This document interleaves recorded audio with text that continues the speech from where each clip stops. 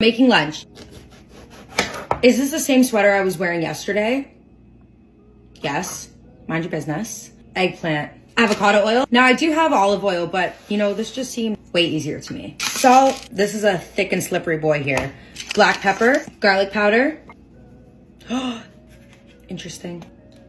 Mm-hmm. And some onion powder. I'm only seasoning one side because I am. I'm gonna put these in the air fryer for like 15 minutes on 400 and pray that that's the right amount of time. This thing is greasy as all hell. Oh my goodness.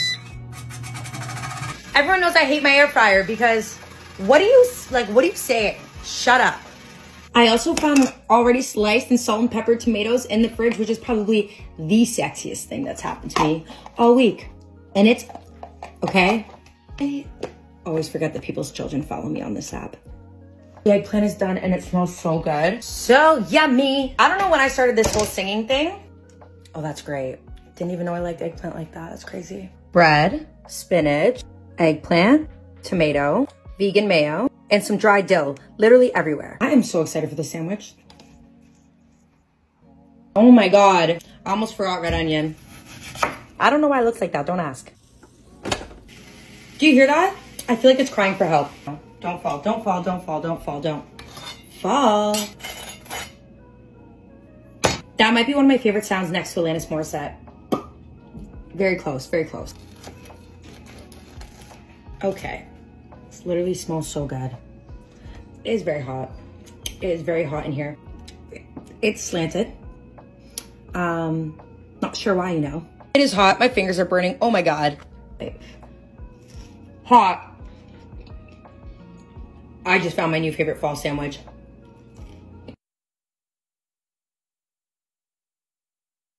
This is easily the best vegan meal I have ever made and I cannot wait to share it with you. Our protein is going to be firm or extra firm tofu, but we need to drain as much water as possible. I don't cook with tofu often, so this time I'm using paper towels, but if you can, try to use a dishcloth or a drying rack. I just place something heavy on top for about half an hour and then cut it into cubes. But the magic behind this recipe is in the sauce. I'm just adding some minced garlic and diced chili and this bricked up piece of ginger. And then I'm just going to add some soy sauce, some mirin, some sesame oil, some gochujang, and a little bit of good quality honey. And I said good quality honey, not like the Jessica Alba movie. And a tiny bit of boiling water to bring it all together. Whilst your rice is cooking, coat your tofu in potato starch. This will give us a much nicer crisp than if we use flour. Fry them on a high heat in some vegetable oil until they're nice and crispy. Try not to move them around too much, and then we're gonna add in our sauce. Cook for one more minute until it's thickened, serve with some rice and garnish with sesame seeds and green onions. I'm gonna eat this while I watch a cool Netflix documentary about veganism, go vegan for a day, and then celebrate with a steak.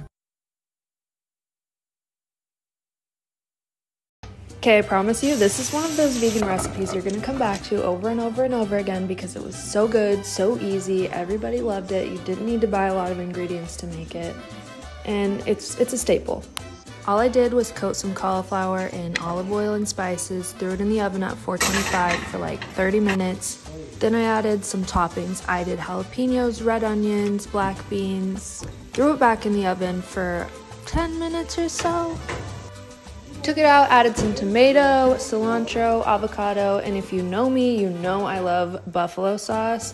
Yes, buffalo sauce is vegan, by the way. And then I added some vegan feta from Follow Your Heart, and voila, it is done and it is amazing. I love eggplant, but my husband doesn't. So whenever I make this spicy eggplant for dinner, I'm really just cooking it for myself. It's self care. I'm frying the eggplant in some oil for 1 to 2 minutes. I find that frying the eggplant like this preserves the beautiful purple hue of the skin the best, but you can always pan fry or air fry the eggplant. Moving on to the sauce, saute a lot of garlic and ginger until fragrant. Add some doubanjiang, a spicy fermented bean sauce made with fava beans. I also like to use Sichuan peppercorns for tongue tingling spice. Add chili flakes, salt, and sugar.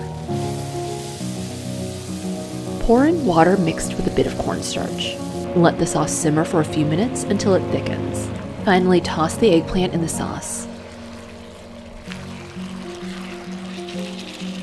Garnish the eggplant with a bit of sesame seeds and scallions if you like, and enjoy.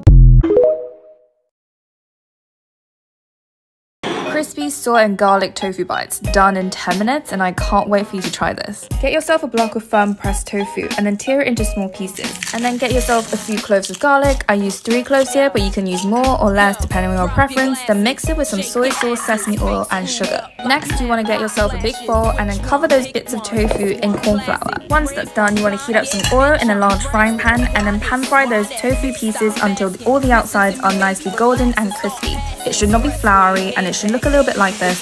And then it's time to pour in that sauce. At that point, I turn the heat down low and then add a little bit of water to deglaze the pan. Final step here is to just add in some spring onions and sesame seeds, combine it all together, and that's it. This was super fast and it's so good.